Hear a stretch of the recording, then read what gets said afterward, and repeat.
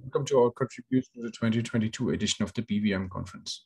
Here, we present an idea that allowed us to segment cortical bone from trabecular bone in X-ray microscopy data, XRM for short, using a neural network while training it on a similar modality, the microCT. Data generated from both imaging modalities are comparable as can be seen here. The major advantage of the XRM is the increase in resolution. In our case, the microCT data had a resolution of about 8.4 micrometers, while the XRM had a resolution of about 1.4 micrometers. The increase in resolution allows imaging of small structures inside the bone as can be seen here the, on the very right. These structures are channels where the recently discovered transcortical vessels reside and lacunae in which the more well-known osteocytes reside.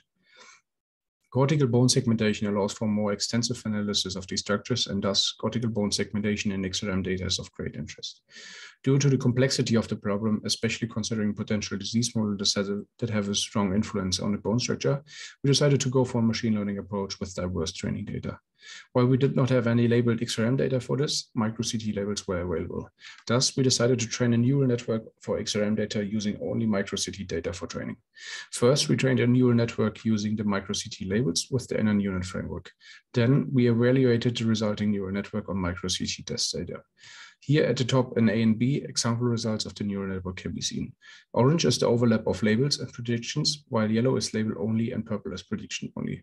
We calculated the mean F1 and IOU scores and found both values to be satisfactory. Additionally, we performed segmentation on the raw data using both the labels and the predictions and compared the results.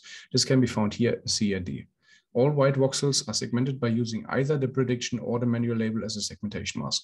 Purple voxels are only kept with a segmentation using the prediction, while yellow voxels only remain after segmentation using the manual labels. The average difference in segmented volume was only 0.6%. We thus concluded the neural network to provide good performance and to be suitable for cortical bone segmentation in microCT data. Having confirmed the performance of the neural network, we then took the XRM data and downsampled it to further increase similarity to microCT data and to equalize the level of context.